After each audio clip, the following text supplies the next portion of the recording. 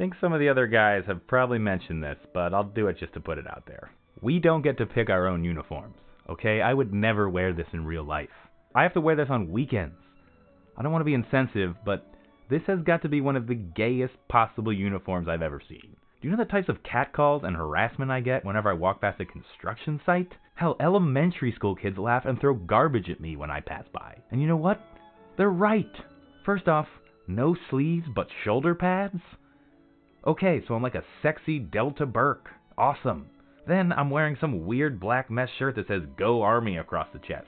Because that's what hardcore soldiers wear to war. Uniforms with affirmative slogans across the chest, like an enthusiastic assistant manager at Bebe would wear. Yeah, that and creepy leather molesto gloves, of course.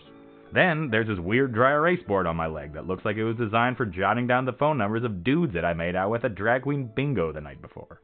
And it's covered in a bunch of weird math. I don't do math, okay? I play pool.